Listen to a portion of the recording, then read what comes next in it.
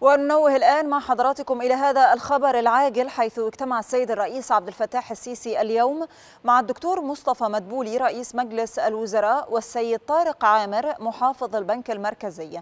هذا وصرح المتحدث الرسمي باسم رئاسة الجمهورية السفير بسام راضي بأن الاجتماع تناول استعراض جهود البنك المركزي في إطار نشاط منظومة العمل المصرفي والنقدية وقد وجه الرئيس بمواصلة تطبيق الإجراءات التي من شأنها تحسين المؤشرات الاقتصادية والحفاظ على الاستقرار النقدي والمصرفي وذلك بالتنسيق بين أجهزة الدولة المعنية خاصة فيما يتعلق باحتواء التداعيات الاقتصادية لجائحة كورونا.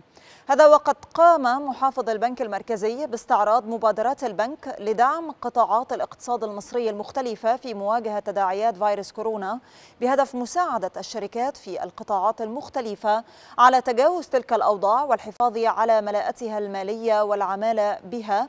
إلى جانب توفير جميع احتياجات القطاع الحكومي لتمويل عملية التنمية.